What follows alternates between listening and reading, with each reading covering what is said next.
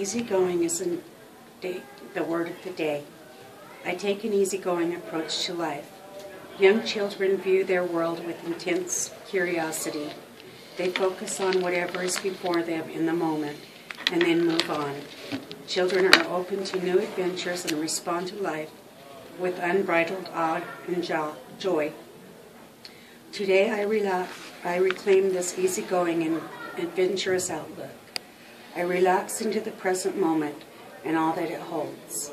I release control over the outcome and delight in witnessing the creative ways things play out. As I experience the transforming power of letting go and trusting God, I realize the amazing gift of being present. I notice the diverse expressions of beauty in the world. I am easygoing as I enjoy the simple gift of life.